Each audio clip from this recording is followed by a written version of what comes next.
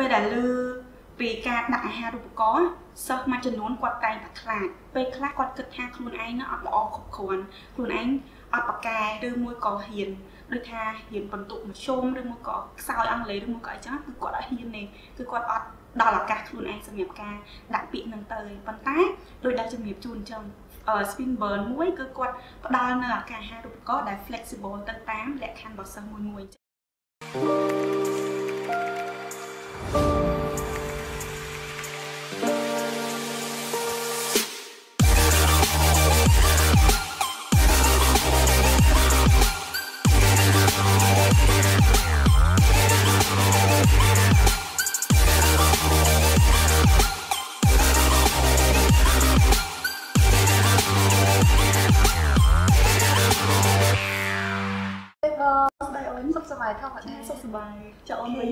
សុខសប្បាយធម្មតាដែរអញ្ចឹងជាដំបូងតើបងអាចជួយណែនាំខ្លួនជាមួយបានទេអូខេអឺជំរាបសួរអ្នកទាំងអស់គ្នានាងខ្ញុំឈ្មោះឆាសុចិតាអ្នកទាំងអស់គ្នាអាចហៅខ្ញុំជាតាខ្ញុំគឺជាអ្នកប្រឹក្សាយោបល់ការសិក្សានៅក្រៅប្រទេសប្រចាំវីដេអូប្រុសផ្ទាល់តែម្ដងហើយសម្រាប់ថ្ងៃនេះផងដែរខ្ញុំមានត្រៀមនៅសំណួរមួយចំនួនសម្រាប់សួរបងតាក់ទងជាមួយនឹងវិធីសាស្ត្រក្នុងការទទួលបានអាហារូបករណ៍ពីសាកលវិទ្យាល័យ Swinburne ផ្ទាល់នៅប្រទេសអូស្ត្រាលីចាអញ្ចឹងចំពោះសំណួរដំបូងគឺ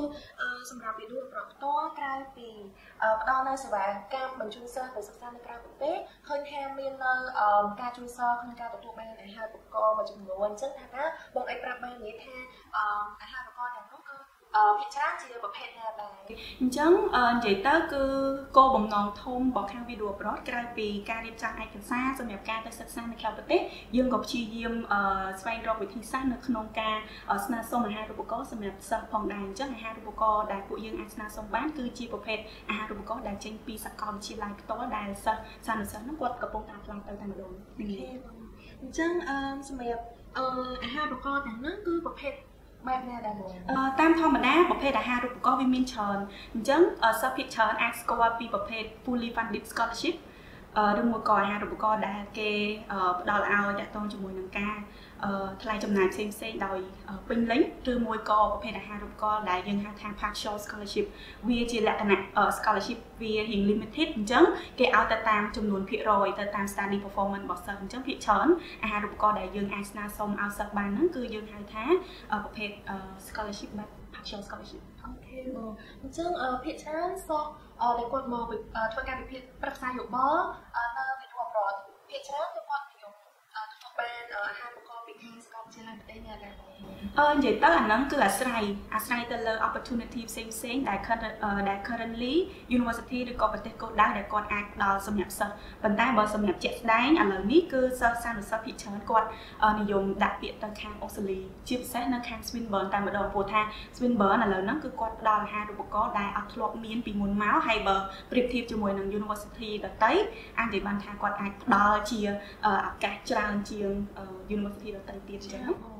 ចឹងអឺសម្រាប់សំណួរបន្ទាប់វិញខ្ញុំចង់ដឹងថាតើ Swinburne University of Technology នៅប្រទេសអូស្ត្រាលីហ្នឹងគាត់មានលក្ខណៈពិសេសអ្វីបានជាសិស្សគាត់ apply ទៅសិក្សាអញ្ចឹងបងថ្ងៃអឺនិយាយទៅលក្ខណៈពិសេសរបស់ Swinburne គាត់មានច្រើនអញ្ចឹងចាប់ផ្ដើមពីចំណុចទី1គឺគឺនិយាយពី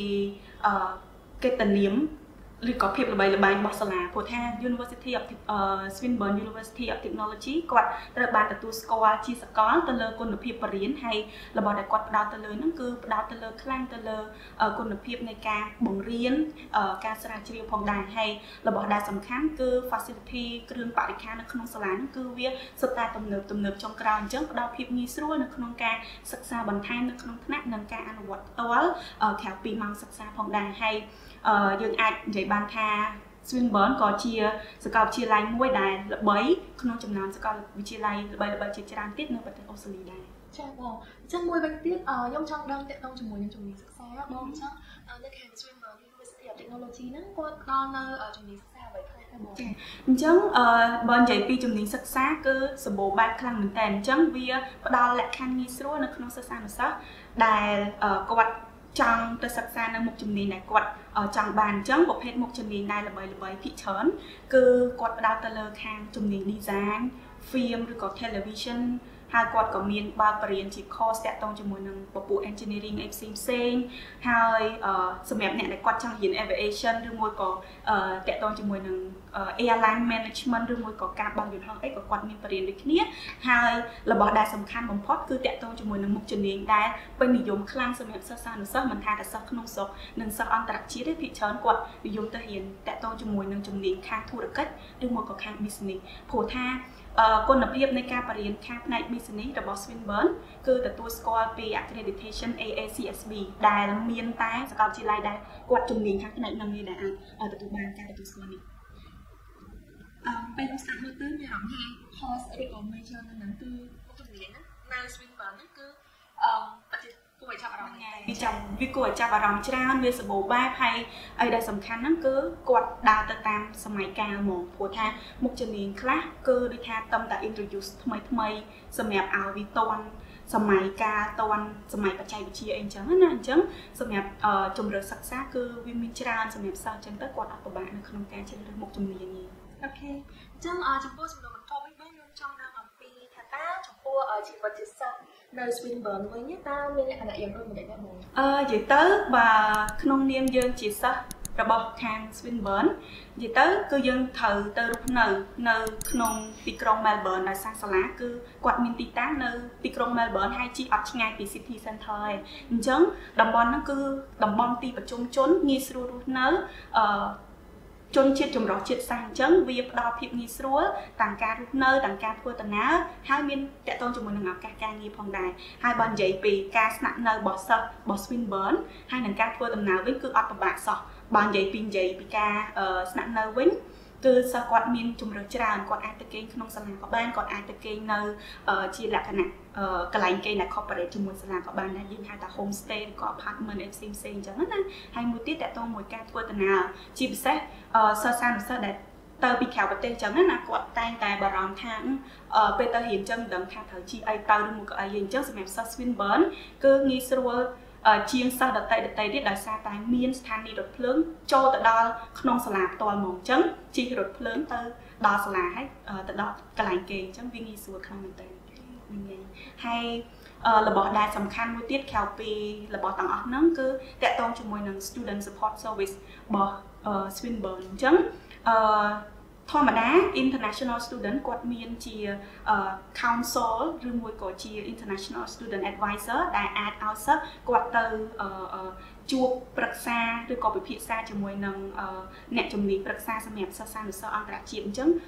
សម្រាប់សិស្សដែលគាត់ ទៅរៀនពីក្រៅប្រទេសអីចឹងអាចនឹងជួបបញ្ហាមួយចំនួនដែរអញ្ចឹងបើសិនជាមានបញ្ហារួមទាំងការស្នាក់នៅការរៀនសុខុមាលភាពរបស់គាត់ឬមួយក៏អីហ្នឹងគឺអាហ្នឹងយើងអាចទៅ approach តាក់ទងជាមួយនឹង council របស់គេបានអញ្ចឹងអាចជាយាមស្វែងរកជំនួយពីខាងនោះបន្ថែមទៀតបានអញ្ចឹងណាដោយសារតែលើពីសិស្សសានុសិស្សដែលគាត់ធ្លាប់មានបទពិសោធន៍សម្រាប់ការទៅរៀនហ្នឹងគឺគាត់ប្រាប់ថាសាលាគាត់យកចិត្តទុកដាក់ខ្ពស់ខ្លាំងមែនតើទៅលើការពង្រឹងសមត្ថភាពរបស់សិស្សហើយអឺ ផ្ដល់នៅភាពកក់ក្ដៅសម្រាប់ការទៅសិក្សានៅខាង Swinburne ដូចគ្នាតែស្ដាប់មើលទៅមានអារម្មណ៍ថាជីវិតជាសិស្សនៅ Swinburne គឺងាយស្រួលថយហ្នឹងហើយងាយស្រួលខ្លាំងអញ្ចឹងអញ្ចឹងចំពោះអាហារូបករណ៍វិញតើបច្ចុប្បន្ននៅខាងសាកលវិទ្យាល័យ Swinburne គាត់មានផ្ដល់នៅអាហារូបករណ៍បែបណាខ្លះអឺបើនិយាយពី Swinburne ខុសពីសាលាដទៃទៀតដែរ ដោយសារតែប្រភេទអាហារូបករណ៍របស់គាត់ឲ្យនឹងគឺឲ្យទៅតាមលក្ខខណ្ឌសិក្សារបស់សិស្សអញ្ចឹងប្រភេទអាហារូបករណ៍វានឹងបែងចែកជាពីរសម្រាប់សិស្សអញ្ចឹងទី1គឺប្រភេទអាហារូបករណ៍សម្រាប់ថ្នាក់តម្រង់ទិសនិងទី2គឺប្រភេទអាហារូបករណ៍សម្រាប់ថ្នាក់មុខជំនាញអញ្ចឹង សម្រាប់សិស្សានុសិស្សដែលគាត់ជា international student មិនថាតែខ្មែរយើងឬមួយក៏ជាសាសដតីទៀតដែលគាត់អាចចូលទៅរៀនមុខជំនាញថ្នាក់មុខជំនាញ direct បានគឺគាត់ត្រូវរៀនថ្នាក់តម្រង់ទិសសិនអញ្ចឹងតកតងជាមួយនឹងដំណាក់កាលនៃការរៀនថ្នាក់តម្រង់ទិសហ្នឹងសិស្សានុសិស្សទាំងអស់ក៏គាត់មានឱកាសនៅក្នុងការទទួលបានអាហារូបករណ៍ដូចគ្នាតែអាហារូបករណ៍ហ្នឹងអឺវាអាចបានពីចន្លោះ 2500ដុល្លារអូស្ត្រាលីទៅដល់5000ដុល្លារអូស្ត្រាលីសម្រាប់ថ្នាក់តម្រង់ទិសអញ្ចឹងពេលដែលគាត់ចាប់ថ្នាក់តម្រង់ទិសនឹងទៅលក្ខខណ្ឌអាហារូបករណ៍របស់គាត់នឹងឲ្យអូតូម៉ាទិកសម្រាប់បន្តទៅឆ្នាំបន្ទាប់ទៀតទៅលើមុខជំនាញរបស់គាត់អញ្ចឹងតកតងជាមួយនឹងអាហារូបករណ៍ដែលបានបន្ទាប់ហ្នឹងគឺអាចបានចន្លោះពី10%ភាគរយទៅ75%ហើយបន្ថែមលើសពីនឹងទៀត សម្រាប់សិស្សានុសិស្សដែលគាត់ត្រូវបំពន់តកតងជាមួយនឹងភាសាអង់គ្លេសរបស់គាត់បន្ថែមសាលាក៏គាត់មានការផ្ដល់ជាថ្នាក់សិក្សាភាសាអង់គ្លេសឬក៏យើងហៅថា ILICOS ILICOS class អញ្ចឹងគាត់នឹងផ្ដល់សម្រាប់ថ្នាក់ហ្នឹងឲ្យសិស្សរៀនដោយឥតគិតថ្លៃរយៈពេល10សប្តាហ៍ទៀតដែរអញ្ចឹងអានេះគឺជា ឱកាសល្អមួយដែល Swinburne គាត់ឲ្យព្រោះថាពីឆ្នាំមុនមុនមកដូចជាអត់ដែលមានឱកាសបែបហ្នឹងឯងហើយបើសិនប្រៀបធៀបជាមួយនឹងសាលាផ្សេងឬក៏សាកលវិទ្យាល័យផ្សេងនៅប្រទេសផ្សេងផ្សេង Swinburne គឺគាត់ឲ្យឱកាសច្រើនជាងគេចាបងចឹងអឺតកតទៅលើជំនាញសិក្សាតែខ្ញុំបានស្ដាប់បងមិញបងលើកឡើងបន្តិចហ្នឹងចាអញ្ចឹងអឺថាតើអាហារូបករណ៍ដែលខាង Swinburne គាត់ផ្ដល់ឲ្យនេះគឺផ្ដល់ទៅលើគ្រប់ជំនាញសិក្សា នឹងហើយអញ្ចឹងតាមធម្មតាលក្ខខណ្ឌអាហារូបករណ៍របស់គេគឺអត់កំណត់ថាអូនឯងតតទៅរៀនខាង design អូនឯងតទៅរៀនខាង business ទេបានបានអញ្ចឹងឲ្យតែមុខជំនាញដែល available ដែលមានបើកសម្រាប់ international student គឺសិតតែសិស្សគាត់អាចដាក់ apply សម្រាប់អាហារូបករណ៍ដូចគ្នាអញ្ចឹងមានថាគ្រប់ជំនាញសិក្សានេះទៅគឺគ្រប់ជំនាញគ្រប់កម្រិតថ្នាក់មិនថាថ្នាក់តម្រឹងទិសមិនថាថ្នាក់ជំនាញរបស់យើងអញ្ចឹងអឺសម្រាប់អាហារូបករណ៍ហ្នឹងថាតើគាត់អឺ cover ទៅលើអ្វីខ្លះដែរបងអឺតាមធម្មតាប្រភេទអាហារូបករណ៍ដែលខាង Swinburne គាត់ផ្ដល់ឲ្យគឺ cover ទៅលើ tuition fee ឬក៏ការចំណាយទៅលើថ្លៃសិក្សាអញ្ចឹងក្រៅពីហ្នឹងដូចស្នាក់នៅហុកជោគបងថ្លៃរដ្ឋបាលទិញសភៅទិញអីណាអានឹងភាគច្រើនសិស្សគាត់ត្រូវរ៉ាប់រងខ្លួនឯងអញ្ចឹងណាព្រោះថាអាហារូបករណ៍នេះក៏គេចាត់ចូលទៅក្នុងពពួកអាហារូបករណ៍ partially funded scholarship ដែរអញ្ចឹងគឺគេផ្ដល់ទៅលើការចំណាយទៅលើថ្លៃសិក្សាអញ្ចឹងសម្រាប់អាហារូបករណ៍ ថ្ងៃអញ្ចឹងអឺអឺបកមកវិញទៅលើអ្វីដែលខ្ញុំបានបញ្យល់ពីលក្ខខណ្ឌអាហារូបករណ៍មុនហ្នឹងគឺអាហារូបករណ៍ហ្នឹងគឺគេនឹង cover តាំងពីការ start ចូលរៀនដំបូងរបស់គាត់រហូតដល់តែរៀនចប់ហ្មងអញ្ចឹងសម្រាប់អ្នកដែលត្រូវរៀនថ្នាក់តម្រង់ទិសគាត់បានអាហារូបករណ៍ហើយបានអាហារូបករណ៍មួយកលៈហ្នឹងហើយពេលដែលចូលដល់ថ្នាក់ជំនាញរបស់គាត់បានអាហារូបករណ៍មួយទៀតហើយ cover ឲ្យរហូតដល់តែគាត់រៀនចប់ហ្មងអញ្ចឹងមានថាសិស្សគាត់ទទួលបានអត្ថប្រយោជន៍ច្រើនអត្ថប្រយោជន៍ច្រើនព្រោះថាអឺទោះបីតិចក្តីច្រើនក្តីគឺវាជួយសម្រួលទៅលើថ្លៃចំណាយច្រើនខ្លាំងមែនទែនព្រោះថា scholarship នេះគឺ available ជារៀងរាល់ឆ្នាំសម្រាប់ការសិក្សាប៉ុន្តែមិនបានន័យថាមានគ្រប់ឆ្នាំ សិក្សាទាំងអស់ឆ្នាំនឹងផងឆ្នាំក្រោយផងឬមកអីហ្នឹងគឺ available សម្រាប់តែសិស្សគាត់ apply តនពេល period ដែលគេបើក scholarship ហ្នឹងឯងអញ្ចឹងអ្នកដែលអត់បានក៏អត់បានដែរអូខេបងអញ្ចឹងចំពោះតម្លៃសិក្សាហ្នឹងបងខ្ញុំចង់ឲ្យបងជួយប្រៀបធៀបតម្លៃសិក្សាដែលមាន scholarship ដែលមានអាហារូបករណ៍ហ្នឹងហើយជាមួយនឹងតម្លៃសិក្សាដែលអត់មានអាហារូបករណ៍អញ្ចឹងតាមធម្មតាបើនិយាយពី Swinburne ណាថ្លៃសិក្សារបស់គាត់គឺអឺយើងនិយាយទៅគឺវា affordable ជាង សាលាដែល good ranking ដតីដតីទៀតហើយគាត់ផ្ដល់នូវគុណភាពនៃការសិក្សាដែលអាចទុកចិត្តបានអញ្ចឹងតកតងជាមួយនឹងតម្លៃសិក្សាបាននិយាយពីតម្លៃពេញអឺអាចជាមធ្យមចន្លោះពី29000ដុល្លារអូស្ត្រាលីទៅដល់30000ដុល្លារអូស្ត្រាលីជាងអញ្ចឹងណាតែបើយើងគិតជាដុល្លារអាមេរិកវាអាចខ្ទង់20000ស្ដាងទៅ20000ក្រែអញ្ចឹងណាអឺបើជាក់ស្ដែងដូចកូនសិស្សយើងដែលគាត់ធ្លាប់ បានអាហារូបករណ៍75%ពី Swinburne អានេះជាក់ស្ដែងហ្មងអញ្ចឹងថ្លៃសិក្សារបស់គាត់អាចនិយាយថាខ្ទង់30000អូស្ត្រាលីចុះអញ្ចឹងពេលដែលគាត់បានអាហារូបករណ៍75%គឺកាត់ថ្លៃចំណាយទៅលើថ្លៃសិក្សាហ្នឹង75%អញ្ចឹងគាត់ត្រូវបង់តាម25%បន្ថែមទៀតទេអញ្ចឹងវាអាចស្មើតែចន្លោះខ្ទង់6ទៅ7000ដុល្លារអូស្ត្រាលីអញ្ចឹងណាក៏ជាដុល្លារអាមេរិកវាតិចជាងនឹងវាខ្ទង់តែ5000អីអញ្ចឹងណាអញ្ចឹងក្នុងការចំណាយទៅលើថ្លៃសិក្សាមួយឆ្នាំគឺវា ទាបខ្លាំងមែនតើវាសឹងតែស្មើជាមួយនឹងតម្លៃសិក្សាដូចសាលានៅខ្មែរឬក៏សាលានៅអាស៊ីផ្សេងផ្សេងទៀតអញ្ចឹងណាប៉ុន្តែយើងអាចទទួលបាននៅគុណភាពបង្រៀនដែលប្រកបដោយប្រសិទ្ធភាពហើយនឹងមានគុណភាពខ្ពស់អញ្ចឹងបើ start ទៅកាត់បន្ថយតម្លៃសិក្សាខ្លាំងមែនតើហ្នឹងហើយវាស្ទើរតែតាមស្រុង75%វាច្រើនខ្លាំងមែនតើហ្នឹងហើយអូខេបងអញ្ចឹងអឺចំពោះអាកាសហាបកហ្នឹងថាតើសិស្សគាត់ ស្ថិតនៅក្នុងចំណាក់ថ្នាក់បែបណាដែរបងមិនគាត់អាចទទួលបានហាបកហ្នឹងអឺនិយាយទៅសំណួរនេះអាចនិយាយបានថាយើងពិបាកឆ្លើយបន្តិចព្រោះពេលខ្លះចេះពេលដែលលឺពីការដាក់អាហារូបករណ៍សិស្សមួយចំនួនគាត់តែងតែខ្លាចពេលខ្លះគាត់គិតថាខ្លួនឯងនៅអត់ល្អគ្រប់គ្រាន់ខ្លួនឯងអត់ប្រកែឬមួយក៏ហ៊ានដូចថាហ៊ានបន្ទុកមធ្យមឬមួយក៏ខ្សោយអង់គ្លេសឬមួយក៏អីចឹងគឺគាត់អត់ហ៊ានទេគឺគាត់អត់ ដល់ឱកាសខ្លួនឯងសម្រាប់ការដាក់ពាក្យនឹងទៅប៉ុន្តែដោយដែលជំរាបជូនចឹង Swinburne មួយគឺគាត់ផ្ដល់នៅអាការអាហារូបករណ៍ដែល flexible ទៅតាមលក្ខខណ្ឌរបស់សិស្សមួយមួយអញ្ចឹងបើឧទាហរណ៍ថា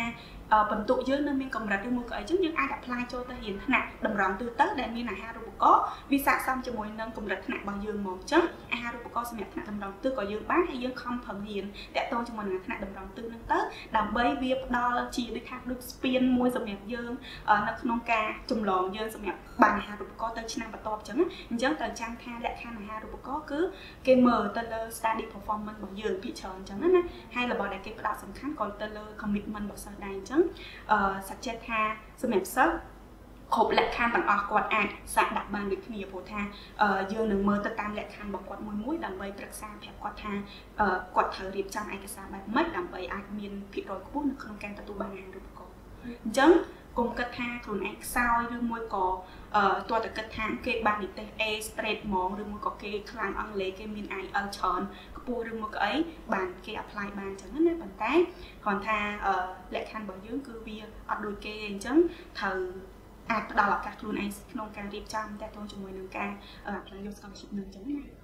អញ្ចឹងមានន័យថាឱកាសរបស់សិស្សដែលគាត់ចង់ទទួលបានហៅប្រកបគឺនៅតែមានចឹងដោយសារតែខាងសាលាគាត់មើលទៅលើ study performance ជាបងនេះបង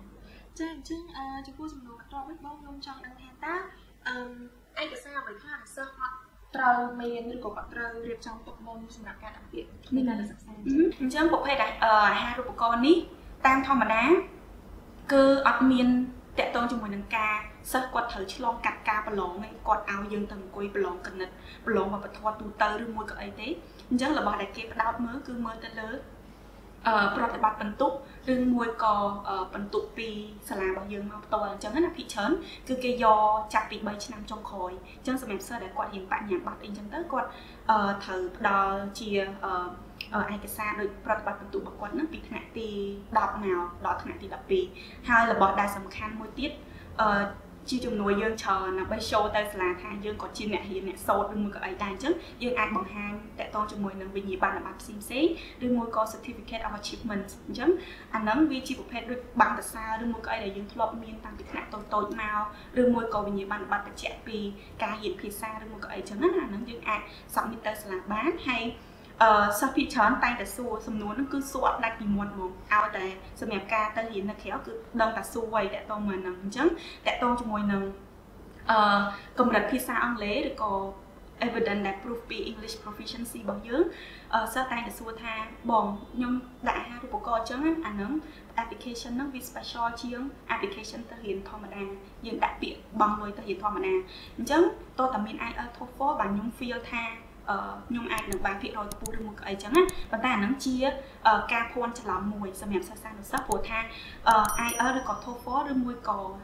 evidence ដែល proof ពីកម្រិតភាសាអង់គ្លេសរបស់គាត់ហ្នឹងគឺវាអត់មានប៉ះពាល់តាក់ទងជាមួយនឹងភាគរយអាហារូបករណ៍ឬមួយក៏ប៉ះពាល់ថា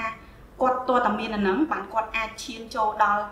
កម្រិតសិក្សាណាមួយឬក៏កាត់ឆ្នាំគាត់សិក្សាបានឬមួយក៏អីយើងព្រោះថារបស់នេះគឺរបស់ដាច់ដោយឡែកផ្សេងវាគ្រាន់តែ proof show យើងថាយើងអាចប្រើប្រាស់ភាសាអង់គ្លេសបានប៉ុណ្ណាអញ្ចឹង IELTS TOEFL គឺអត់ចាំបាច់ត្រូវតែមានទេធ្វើក្បិតតែសាលាគាត់កំណត់មែនថាសិស្សអាច ត្រូវ proof ថា IELTS TOEFL របស់គាត់ត្រូវមានប៉ុណ្ណាប៉ុណ្ណាអញ្ចឹងណាប៉ុន្តែរបស់នេះគឺអត់ចាំបាច់ទេអញ្ចឹងបើសិនជាសិស្សដែលគាត់អត់មាន IELTS ឬក៏មាន TOEFL អីទេគាត់អាចធ្វើតេស្តជាភាសាអង់គ្លេសរបស់សាលាបានដោយសារ Swinburne គាត់នឹង provide ជាតេស្តភាសាអង់គ្លេសសម្រាប់ឲ្យសិស្សធ្វើដើម្បី show ទៅសាលាថាភាសាអង់គ្លេសគាត់គាត់ខាត់ប៉ុណ្ណានឹងជំនាញមានភាពងាយស្រួលមែនតើបើសិនជាសិស្សគាត់អត់មាន TOEFL IELTS អញ្ចឹងក៏គាត់អាចធ្វើតេស្តតាម រយៈតេស្តរបស់ខាងសាលាចាអញ្ចឹងអត្ថភាពគឺមានច្រើនដូចគ្នារបស់ដែលសំខាន់ដែលត្រូវផ្ដោតហ្នឹងគឺអាចនិយាយបានថាយើងទៅ apply តនពេលដែលមាន period scholarship នឹងដែរអត់អញ្ចឹងសរុបជារួមមកចំពោះឱកាសហាត់ប្រកបមួយនេះថាតើបងគិតថាសិស្សអត់បានអត្ថប្រយោជន៍ទៅលើអ្វីខ្លះចឹងការព្រោះអីអឺខ្លូអាចគិតថាអឺពេលខ្លះទៅសិស្សគាត់អាចមើលរំលងពីឱកាសមួយនឹងដែរអញ្ចឹងណាបងអឺ បើសិនជានិយាយថា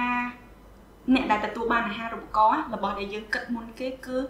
ការសម្រួលទៅលើថ្លៃចំណាយអញ្ចឹងធម្មតាតាលើថាអាហារូបករណ៍គឺគេផ្ដល់ឲ្យឯនៅការសិក្សាដូចថាដូចឧទាហរណ៍ partially funded scholarship ហ្នឹងគឺគេនឹងកាត់បន្ថយនៅថ្លៃចំណាយសម្រាប់ការបង់ថ្លៃសាលាអញ្ចឹងណាអញ្ចឹងជាក់ស្ដែងដូចសិស្សដែលយើងធ្លាប់បានរៀបចំឯកសារឲ្យគាត់គាត់ទទួលបានជោគជ័យនៅក្នុងការ ទទួលបានអាហារូបករណ៍ពី Swinburne មានអ្នកបាន75%មានអ្នកបាន50%មានអ្នកបាន30%អ្នកខ្លះទៀតទៅក៏បាន10%អីចឹងទៅអាហ្នឹងក៏វាធូរទៅទៅលើថ្លៃចំណាយនៃការសិក្សារបស់ពួកគាត់ដែរហើយបើជាក់ស្ដែងដូចតែសិស្សបានអឺ75% 50%អីហ្នឹងវាសឹងតែបន្ធូរបន្ថយការចំណាយមកភាគធំមែនតើសម្រាប់អឺអឺ ក្រុមគ្រួសារអញ្ចឹងណាអញ្ចឹងបាត់ចិត្តរបស់គាត់ក៏មើលទៅអាចនិយាយបានថាយើងអាច control បានច្រើនដែរអញ្ចឹងណាហើយរបស់មួយទៀតដែលយើងអាចនិយាយបានថាអត្ថប្រយោជន៍ដែលសិស្សអាចទទួលបានហ្នឹងគឺគាត់មាន credit ខ្ពស់ខ្លាំងមែនតើសម្រាប់ build background របស់គាត់ build good image របស់គាត់ដោយសារតែជាប់ឈ្មោះជាសិស្សបានអាហារូបករណ៍គឺវាមានន័យធំធេងមែនតើណាសម្រាប់យើងដែលជាសិស្សនេះអញ្ចឹងសម្រាប់សិស្សសានុសិស្សដែលគាត់មានឈ្មោះថាអូខេគាត់បានទទួលអាហារូបករណ៍ឬមួយក៏អីចឹង feel ថា proud ហើយយើងមាន credit ខ្ពស់សម្រាប់បញ្ចូលនៅក្នុង CV របស់យើងសម្រាប់ពេលដែលយើងចាប់យើងបន្តថាត្រូវធ្វើការត្រូវធ្វើអីអញ្ចឹងណាអញ្ចឹងក៏យើងមានដូចថាដូចថាមានភាពជាងបេក្ខជនដតីហើយមានអត្ថភាពជាងអ្នកដតីដែរចឹងក្រៅពីបងបានបកស្រាយនៅរាល់ចំណុចឬក៏រាល់សំណួរដែលបងបានសួរទៅខ្ញុំមានអារម្មណ៍ថាចំពោះអាការអាហារប្រកបមួយហ្នឹងគឺវាល្អមែនតើពីព្រោះអីបើស្ដាប់ទៅគឺអាហារប្រកបគឺគាត់ធ្វើឲ្យទៅ 4ឆ្នាំឬក៏3ឆ្នាំនៃការសិក្សានៅអញ្ចឹងដល់ពេលដែលគិតទៅលើតម្លៃសិក្សាវិញគឺចោះបានច្រើនមែនតើចាអញ្ចឹងអឺជាចុងក្រោយបងមានពីអ្វីដែរដែលបងចង់ផ្ដាំផ្ញើទៅកាន់សិស្សដែលគាត់មានបំណងចង់អឺទទួលបានអាការប្រកបអញ្ចឹងណាអឺអញ្ចឹងសម្រាប់ជាការណែនាំឬក៏ការផ្ដាំផ្ញើរបស់ខ្ញុំអឺទៅដល់សិស្សានុសិស្សទាំងអស់ដែលគាត់មានកម្រងនៅក្នុងការរៀបចំ ផែនការនៃការសិក្សារបស់គាត់ទៅក្រៅប្រទេសហើយជាពិសេសគាត់ចង់បាននៅឱកាសអាហារូបករណ៍ដែរអញ្ចឹងណាអញ្ចឹងរឿងទី1ដែលត្រូវចងចាំគឺកុំកុំរងចាំអញ្ចឹងដោយសារតែអញ្ចឹងអាហារូបករណ៍និងស្រាប់អីរបស់ហ្នឹងគឺជារបស់ល្អដែលអ្នកណាក៏ចង់បានដែរអញ្ចឹងបើសិនជាយើងទៅក្រោយគេយើងប្រាប់ថាចាំចេះចាំចុះអឺខ្លាចនេះខ្លាចនោះឬមកក៏អីអញ្ចឹងអាហ្នឹងគឺវាអត់ផ្ដល់ផលល្អសម្រាប់យើងទេអញ្ចឹង ជាជាងធ្វើអញ្ចឹងយើងត្រូវយកឱកាសហ្នឹងយកមកធៀមខ្លួនហើយយើងត្រូវធ្វើម៉េចដើម្បីថារកវិធីសាស្ត្រធ្វើម៉េចដើម្បីឲ្យអាចឲ្យទទួលបានអាហារូបករណ៍នឹងបើទោះជានិយាយឲ្យពិបាកស្ដាប់បំផុតបើទោះជាថាអត់បានក៏ដោយក៏យើងមានឱកាសនៅក្នុងការសាកដាក់ដែរអញ្ចឹងយើងមានបទពិសោធន៍នៅក្នុងការរៀបចំរបស់អស់ហ្នឹងហើយបើចង់ដូចថាមានអាហារូបករណ៍ទៅឱកាសក្រោយៗទៀតអីចឹងអាហ្នឹងយើងមានបទពិសោធន៍នៅក្នុងការរៀបចំស្រាប់ហើយអឺ លទ្ធផលរបស់យើងនឹងប្រសើរជាងមុនអានេះមួយអឺចំណុចទី2គឺតកតងជាមួយនឹងថាកុំព្យាយាមដាក់សម្ពាធលើខ្លួនឯងហើយកុំអឺដូចថាមើលស្រាលលើសមត្ថភាពរបស់ខ្លួនឯងព្រោះថាសិស្សម្នាក់ម្នាក់គឺគាត់មាន potentiality របស់គាត់រៀងរៀងខ្លួនអញ្ចឹង ជាជាងគិតថាខ្លួនឯងខ្សោយខ្លួនឯងអឺអត់អត់សូវនិយាយអង់គ្លេសបាន smooth ខ្លួនឯងបន្ទុកអត់សូវល្អនៅមធ្យមនៅឡើយចាញ់ប្រៀបគេឬមកអីអាហ្នឹងគឺជាការគិតខុសមួយដ៏ធំបំផុតសម្រាប់សិស្សអញ្ចឹងណាអញ្ចឹងកុំព្យាយាមដាក់សម្ពាធលើខ្លួនឯងអញ្ចឹងអញ្ចឹងខំប្រឹងអាចធ្វើអឺប៉ុនយើងធ្វើបានប៉ុណ្ណាគឺធ្វើបានប៉ុណ្ណឹងទៅអញ្ចឹងណាហើយរបស់ដែលសំខាន់មួយទៀតគឺអឺសម្រាប់ការទៅសិក្សានៅក្រៅប្រទេស រួមជាមួយនឹងការរៀបចំឯកសារសម្រាប់ scholarship ដូចដែលលើកឡើងមុននឹងអញ្ចឹងណា application scholarship វាមានលក្ខណៈ special ហើយនឹងវាអាចរៀង complicated ជាងការ apply ទៅបងខ្លាយសិក្សាធម្មតាអញ្ចឹងអ្នកទាំងអស់គ្នាដូចថាមានអ្នកខ្លះអីមានគម្រោងហើយអីហើយប៉ុន្តែអត់ដឹងថា start ពីណាមកវិញអត់ដឹងថាត្រូវ move ពីចំណុចណាទៅអញ្ចឹងជាការណែនាំរបស់ខ្ញុំគឺខ្ញុំណែនាំឲ្យស្វែងរកនៅអឺអ្នកដែលអាចពិគ្រោះនិងប្រឹក្សាយោបល់គាត់បានទៅលើលក្ខខណ្ឌរបស់គាត់ថាតើគួរធ្វើម៉េចដើម្បីឈោងចាក់ឱកាសមួយនឹងបានអញ្ចឹងណាអញ្ចឹងអាចធ្វើការចាប់ដើមពីដំបូងគេគឺត្រូវស្វែងរកប្រភពព័ត៌មានដែលយើងអាចទុកចិត្តបានហើយត្រូវស្វែងរកអ្នកដែលអាចប្រឹក្សាយោបល់យើងបានអាចជួយ guide ផ្លូវយើងបានសម្រាប់ការរៀបចំឯកសារ application ទៅលើ scholarship របស់យើងនឹងអញ្ចឹងណាអញ្ចឹងអាចរកជំនួយពីខាងក្រុមការងាររបស់យើងបាន value abroad យើងនឹងប្រឹក្សាយោបល់បន្ថែមទៅលើការដាក់ពាក្យរួមជាមួយនឹងវិធីសាស្ត្រធ្វើម៉េច ព្យាយាមឲ្យសិស្សហ្នឹងគាត់អាចទទួលបានរបស់ដែលគាត់ចង់បាននៅក្នុងអាហារូបករណ៍ហ្នឹងឯងចា៎អញ្ចឹងអរគុណច្រើនមែនតើបងសម្រាប់ការចំណាយពេលវេលាក្នុងការបកស្រាយរាល់